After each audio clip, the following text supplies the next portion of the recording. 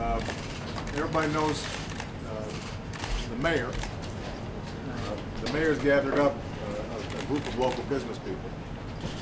Uh, Butch, for example, owns a marina. Terry, shrimp boat. Floyd, oyster fisherman. And Patty has a convenience store. Chris is the owner of the, the bake shop. And so we were just talking about the economic impact that this is having. And, and just to give you a, a sense of perspective, you know, Terry's been shrimping uh, out here for 46 years. His grandfather did it before him. Uh, and right now, things are completely shut off for him. Uh, Floyd, his, he leases the oyster beds uh, from the state. The state now, obviously, and properly so, has said can't be pulling seafood out of, out of these waters right now. He's got oil that's starting to seep in into these oil uh, oyster beds where he's got leases. Uh, and as a consequence, Floyd's trying to figure out how long this damage is going to last. I'm a fourth generation, and I got a son that's a fifth generation. So, you know, so we've been in this, some of these leases been at least kind of in the family for a hundred years. Uh, Butch was talking about uh, the marina and making the point that these three, four months are basically when all the business comes down. And normally, he- all his slips would be full right now. Sounds like about uh, only a third of them are full. It may get worse from there. All our charter boat guys, all the charter boat business uh, shut down. Yeah, they make a living. Make a living off off of taking people out fishing. So right now, uh, Butch isn't taking a salary so he can pay his employees, but he doesn't know how long that's going to last. Then you got Patty, uh, who uh, owns a convenience store. Obviously, that store is dependent on uh, these guys. The boats coming in, filling up with gas, buying ice, buying soft drinks. Uh, so she's down 85% uh, on her business right now. Uh, So, so this is just a sampling of what's happening out here. And part of what we talked about was what we can do to prevent oil from coming into these areas. Part of what we talked about is, in terms of the relief effort, can we deploy folks who've got boats here to help save their livelihoods right where they are, as opposed to having to go to other places. Uh, and so I'm going to ask Admiral Allen to make sure that he's uh, looking at where people are being deployed, where vessels are being deployed, to make sure the people who know the waters best end up being hired there. And the final thing is we've got to talk about uh, what we talked about up in uh, New Orleans, which is are we making sure that claims are being processed effectively. Uh, right now, after that initial $5,000 check that BP wrote, uh, the claim center has been taking in claims, but it sounds based on what uh, uh, I'm hearing that there's a lot of process, but not much actual action.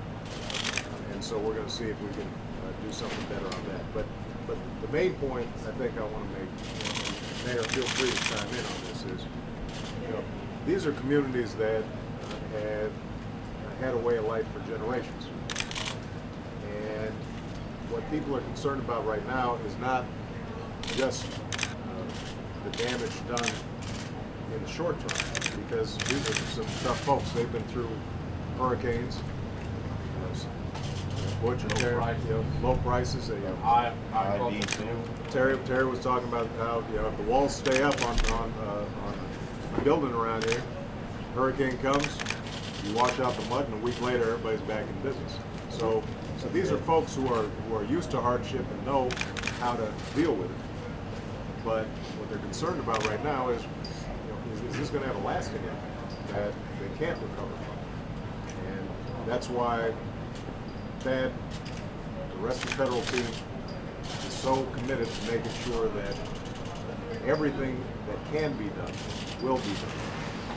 This is going to be bad no matter what we do, but we can hopefully minimize the damage, but it requires good coordination between the state, federal, and local. And it requires BP to make sure that, as I said up in New Orleans, folks aren't getting nickel and dimed, and that we're doing what we need to do early prevent the worst case scenario from happening late. Okay. Mr. Mayor, anything you want to add? Well, again, you know, the main concern is to block these five passes like we talked about. The barges are available, Admiral right and all along the coast, from uh, Venice to uh, Harvey Canal, all the way back to Homer.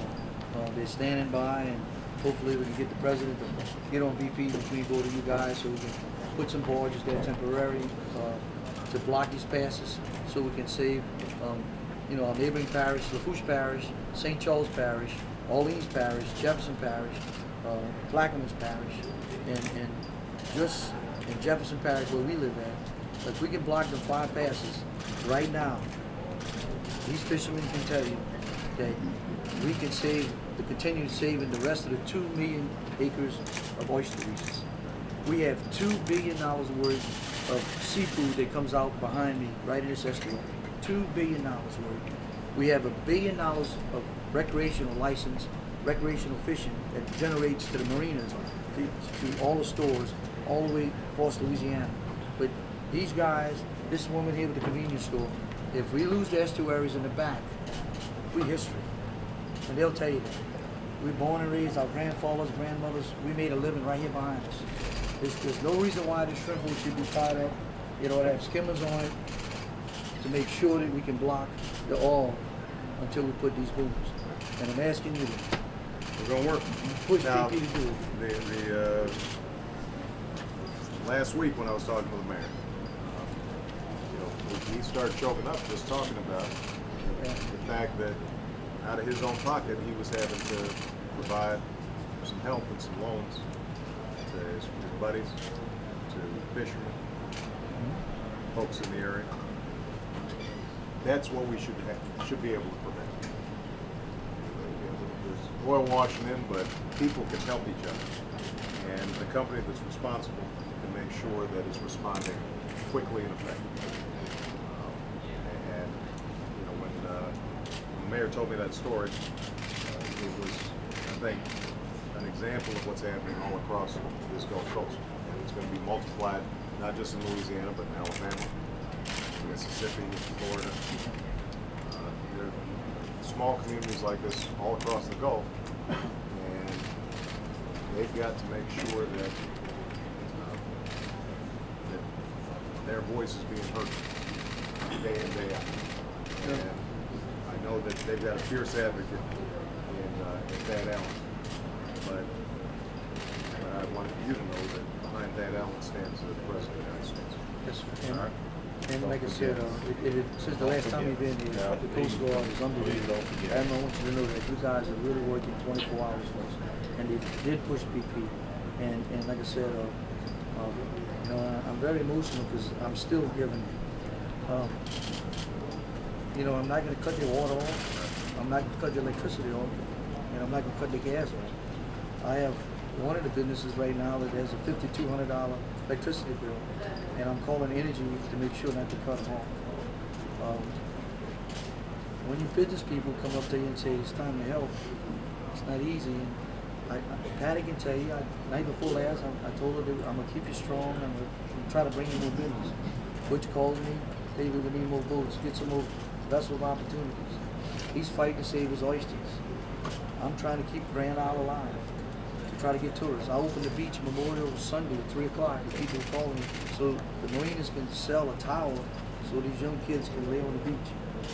And then you know watching all come across the shore and you know it's um, they some people think I'm better than God.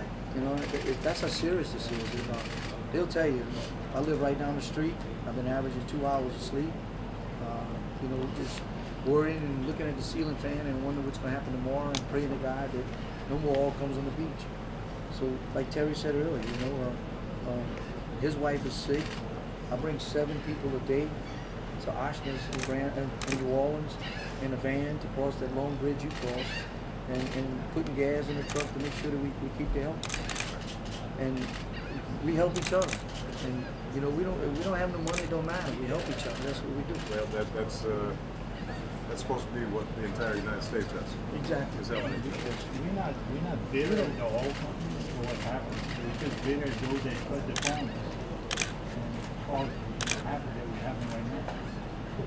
All Because we, we, we thrive on the oil company down here, and we enjoy We support it. we support it. Well, I think, I think the point with the oil companies is uh, they've got to support you the same way you support them. And, and- and they, and they've got to make sure that, uh, you know, because there are a lot of folks in the oil business who do the right thing and who, who aren't cutting corners. We just got to make sure that we find out what happened and that those who are responsible are held responsible.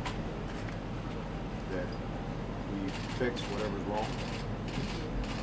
We're still going to need the oil production, but we've got to make sure that we do it in the right way because we just can't have a situation like this happen.